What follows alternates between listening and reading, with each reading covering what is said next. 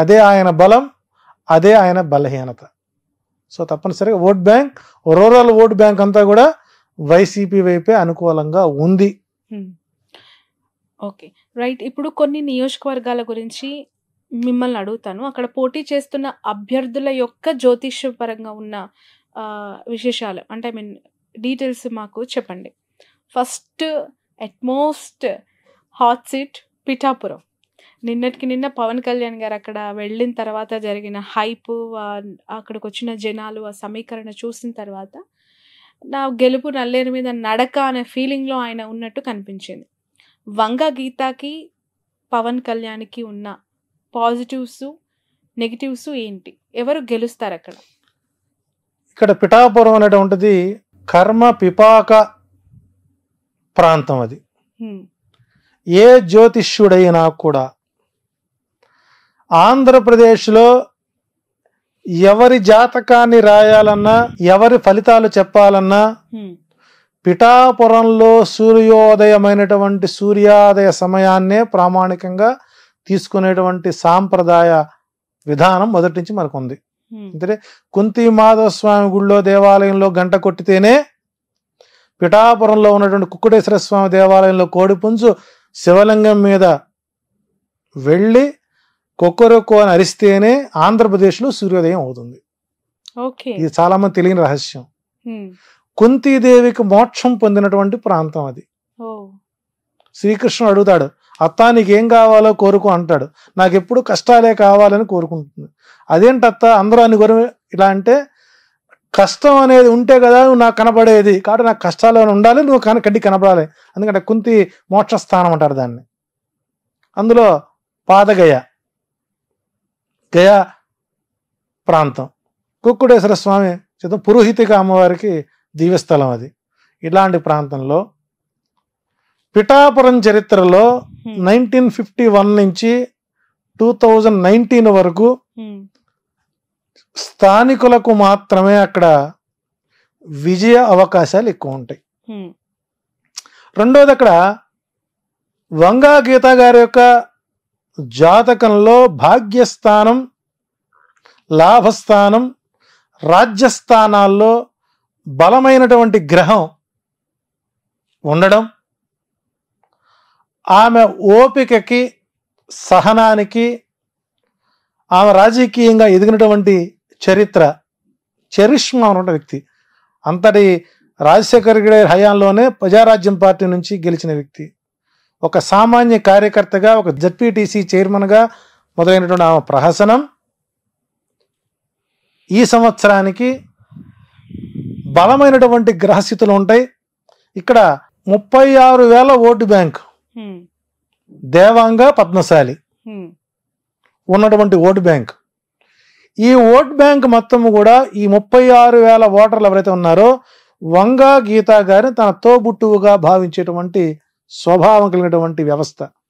మంచికి కానీ చెడుకు కానీ ఏ రోజు ఇంటికెళ్ళినా తలుపు తట్టి పలకరించేటువంటి తత్వం ఆమెని ఓడించడానికి పవన్ కళ్యాణ్ గారిని అక్కడ పెట్టడం ఆయన కేవలం కాపు సామాజిక వర్గ ఓట్లను ఎంచుకోవడం టోటల్గా అతనికి అది మైనస్. ఇప్పుడు నిన్న మనం చూసాం నిన్న మధ్యాహ్నం.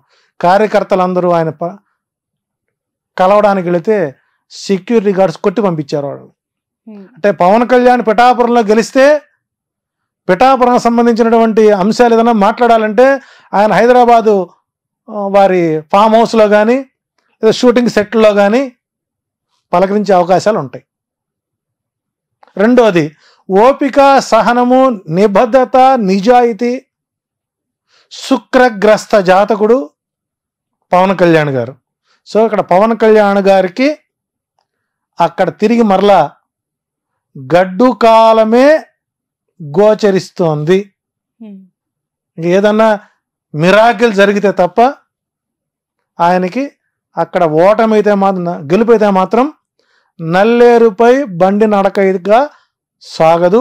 అది ముళ్ళ బాటగానే మారుతుంది. ఇది సినిమాలో ఒక్క ఛాన్స్ అన్నట్టుగా బతిమలాడుకోవడం అంటే ఆ వ్యక్తికి ఎదుటి వారికి నమస్కారం ఎలా పెట్టాలో కూడా మనం నేర్పాల్సిన పరిస్థితి ఏర్పడిపోయింది. హ్మ్, ఎల్లంగా ఒకే ఒక మాట. ప్రచారం మొదటి రోజే చూసారా పిఠాపురం రోడ్లు ఎలా ఉన్నాయో? గత పాలకులు. మరి అంతకుముందు వర్మగారి పరిపాలన చేశారు పెండం దొరబాబు పనిచేశాడు. చేశారు కదా?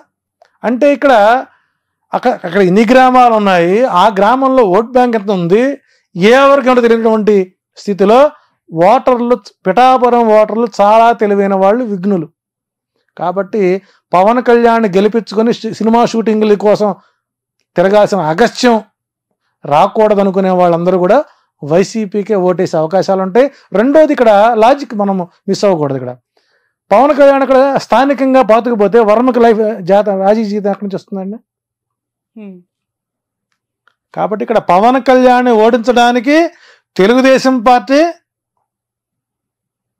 షాడోగా వర్మ గారిని దించి నీవు పవన్ కళ్యాణ్ ఓడించుకొని వస్తే మీకు నేను ఎమ్మెల్సీ పదవి ఇస్తాను ఎందుకంటే అదే పవన్ కళ్యాణ్ కనుక తిరిగి అసెంబ్లీకి వస్తే లోకేష్ గారి రాజకీయం దెబ్బతింటుంది.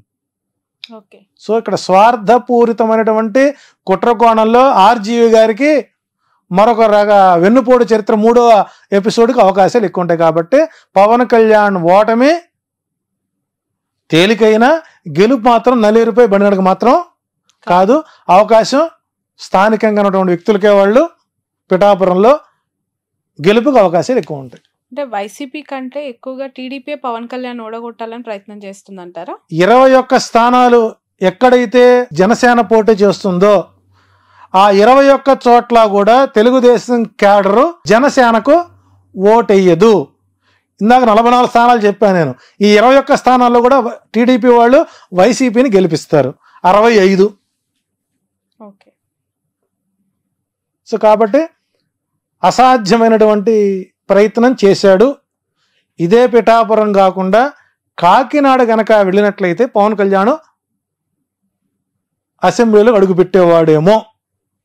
సో ఏదైనా సరే ఆయన రాజకీయ చరిత్ర ఎలక్షన్ అయిన తర్వాత జనసేన ఆంధ్రప్రదేశ్లో కనుమరుగయ్యే అవకాశం ఉంది. బీజేపీలో మెర్జ్ అవ్వడానికి అవకాశాలు ఎక్కువ ఉన్నాయి. రైట్ నెక్స్ట్ క్వశ్చన్ అంటే నెక్స్ట్ అంతే ఉత్కంఠగా ఉన్న మరొక నియోజకవర్గం హిందూపూర్. అక్కడ ఇప్పటి వరకు టీడీపీ జెండా తప్ప ఇంకొక జెండా ఎగరలేదు. టీడీపీ కంచుకోటగా భావించే నియోజకవర్గం.